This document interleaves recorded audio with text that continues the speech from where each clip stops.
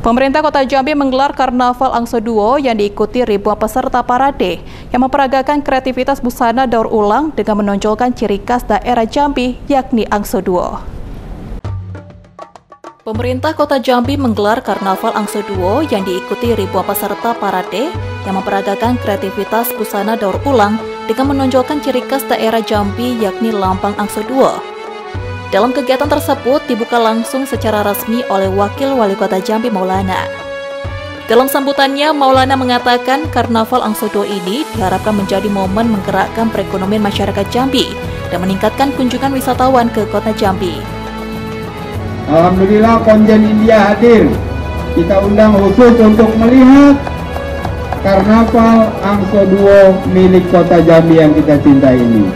Malam hari ini kita nikmati kreativitas baik dari anak-anak SMP, SMA, para pelaku ekonomi kreatif, dari pramuka, dari partisipasi yang lain, bujang gadis yang akan menampilkan budaya kita. Dan kita orang Jambi harus bangga dengan budaya kita yang kita harus angkat. Dan insya Allah ke depan festival rutin setiap bulan harus ada kegiatan festival yang menonjolkan kearifan lokal Jambi. Pelajar parade busana daur ulang ini juga diikuti oleh komunitas dan pelaku industri kreatif.